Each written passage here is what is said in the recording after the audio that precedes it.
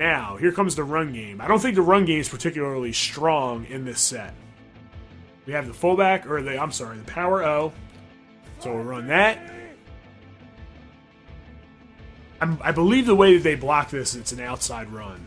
So I believe they block everyone inside the box and pull for the linebacker on that opposite side or the play side.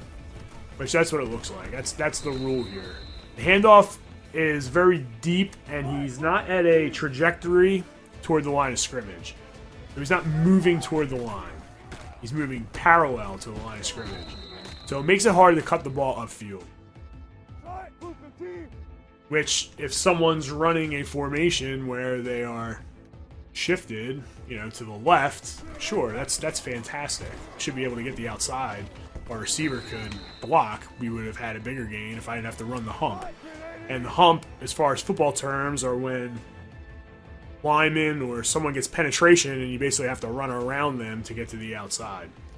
So this play is good for reaching the outside. It probably is pretty good if I... Let me see if I flip this, what happens. Okay, so the cover three guy moves to the opposite side. And usually in a lot of the videos I've put up, I tell you to flip the play and run away from that cover three safety that rolls down into the box. And the reason why in those formations that I told you to do that, you can flip it is because they were even sets. In this set, it's not an even set. We have two receivers on the left, we have one receiver on the right. So, because of that, the safety that rolls into the box is always going to follow that receiver. So, this play will always go to the cover three defender that's rolled into the box. All right, so just know that.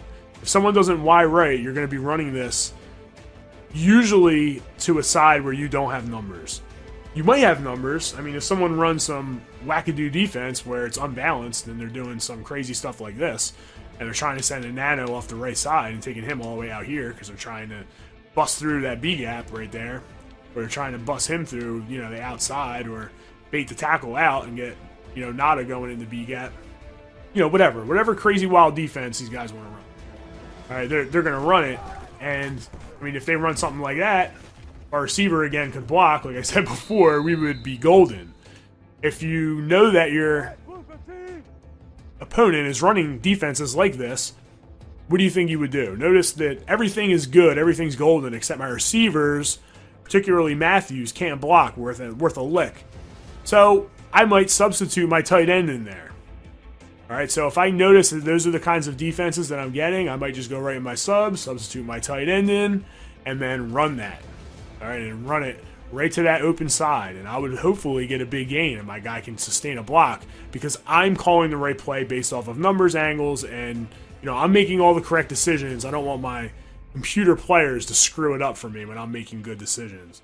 So in that situation, I might do that. So this run's okay if you want to hit the outside, and for whatever reason you have numbers on that side, even though most likely you probably will not.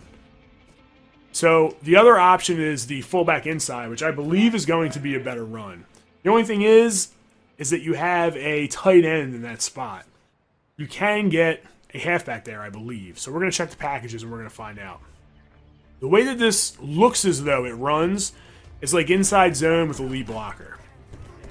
And that's exactly what it is. I I really do like this play. I like this play a lot. Alright, this play is very good. I can bend it. I can bend it back. I I really think that this is a very strong run play against a lot of different sets. I mean, if someone's really packing the box, you can stop it. It's not something that's unstoppable, but it's good. This run's good. And I, yeah, I can get the outside too. Yeah, this run's good. This is with my tight end. All right, this is with my tight end. So if I get a halfback in there, which I'm going to check in my subs, if I can package a halfback there, this that plays money. That plays very good. So let's go to our packages. Halfback sub, wide receiver flip, strong slot, tight end slot. That puts my fullback there, it looks like.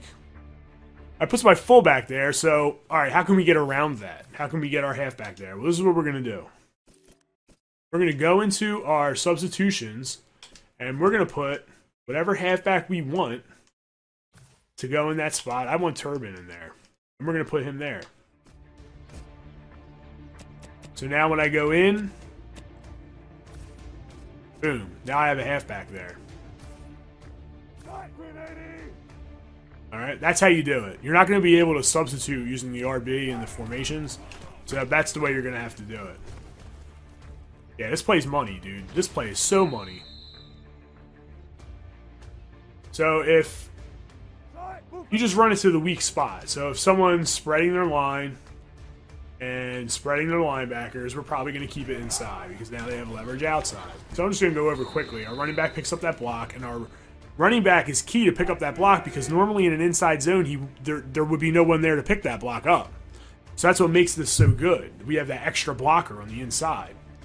So we'll uh, let's say pinch the line, pinch the linebackers. We should be able to get it outside in case someone wants to do some wackadoo garbage like this. All right, so we're able to get it. If someone were to shift and shift, which is a common defense, particularly out of the 4-3. And let's blitz all my linebackers. I'm blitzing everybody. Let's see how this picks up. We're able to get the outside. All right. So you can run this inside, outside. You can bend it back. So I can bend it back, too, if I want to. Get three yards. All right, so this play is just straight up money. You just have to be able to read it. All right, so let's go in and I'm going to show you what audibles I'm going to use. That play comes out. That's going to be in the audibles. Stick up. I want the screen there. And the trail. Where's that trail at? The trail. So these are the audibles I probably would run. And what play would we come out in? We would come out in wide receiver corner.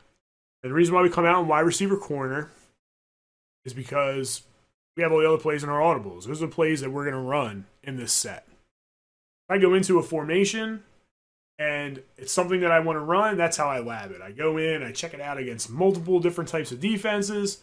I see what type of run options we have. I also look at if we have any screens, things to keep the defense honest against the blitz. And that's one last thing that I didn't talk about. The reason also why I like this set a lot is that right from the huddle, I can just hit LB and up on my D pad. And what does that do?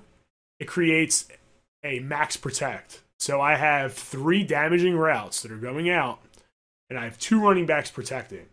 Most blitzes aren't going to work against that. All right, so that's another reason why I like this so much. And I'm running this in this particular instance out of the Indy book. I know it's in the Pittsburgh book. Pittsburgh book's good. Indy book's pretty good. So, you know, check them out. See what you think. I think it's also in Arizona. So that's it. That's how I lab. That's how I go in, check out a formation, go through the plays. The video is really long. I'm sure that, you know, it's going to take you a little bit to watch it. You may learn some things. Now, you're definitely going to learn some things. So that's it. Thanks for checking in. It's Big J Gleez signing out and continue game strong.